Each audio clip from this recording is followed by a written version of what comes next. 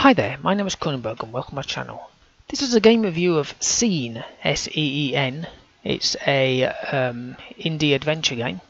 Uh, the developer and publisher is Seen Games. Came out in 2019. It's got most oh, very positive reviews and it's currently for um, well, it's normally £2.59 on Steam, but if there's a sale, which there is at the moment, it's 44 pence.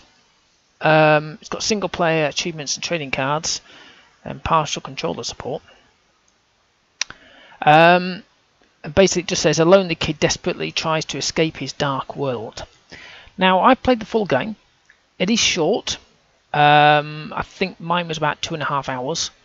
Um, but this is literally the first part. of. I've, when you complete the whole game, it says click here to wishlist part two, which has obviously hasn't come out yet. Um, so I have obviously because I, I, like this game. Um, so the the whole thing is is if you kind of if you're used to Limbo or Inside, because Inside is like a sequel to Limbo, then you'll like this game. If you haven't, then you'll still probably like this game anyway. Um, so the, the kid is always looks like he's really sad. He's he's got tears in his eyes and stuff like that. You know, he is a poor little lad, uh, poor kid or whatever, having a bit of a downtrodden life.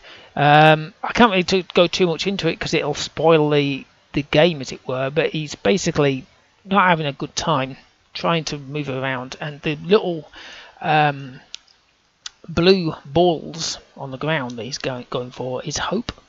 The more hope you get, I'm assuming the better you are. Um, so there are also red balls, which obviously you don't want, which is not good. And there are times where you'll come across things where there's um, people shouting at you or whatever, and the images sort of propel this red color, like red balls or red like speech wave things.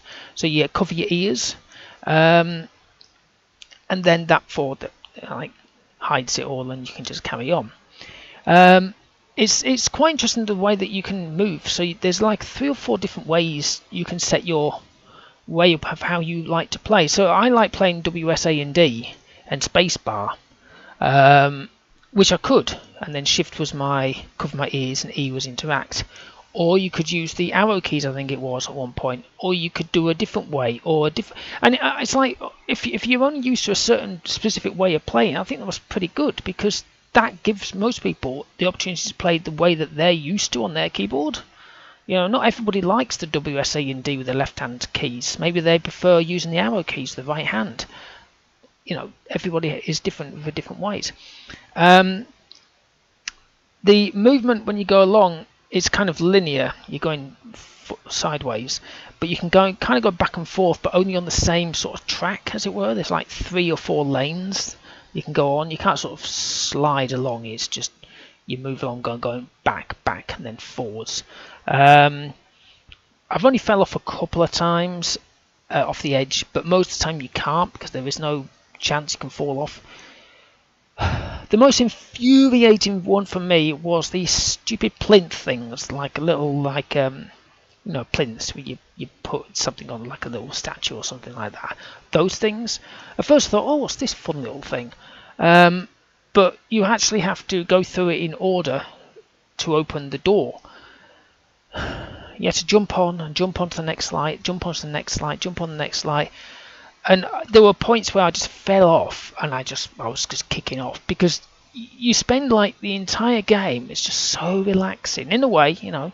Um, quite nice visuals. You're really enjoying it. And then you get to that bit, and then you just lose the will.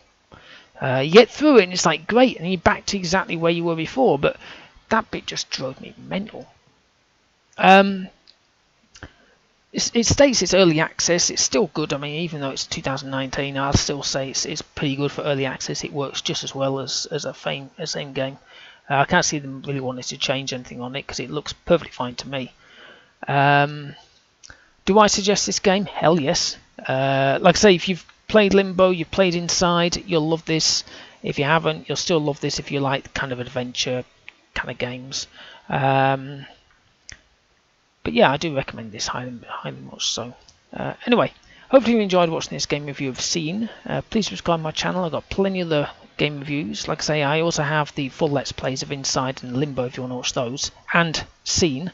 So you can watch Seen and the other two as well if you're kind of curious what I mean by they're similar too. They're not perfect, they're not the same, but it's, it's the similar kind of um, setup. Um, give me a thumbs up if you liked the video. Leave a comment in the comment box below. Have you played this game before? Did you enjoy it? Are you looking forward to part two? Because I am. Okay, well, thank you and goodbye.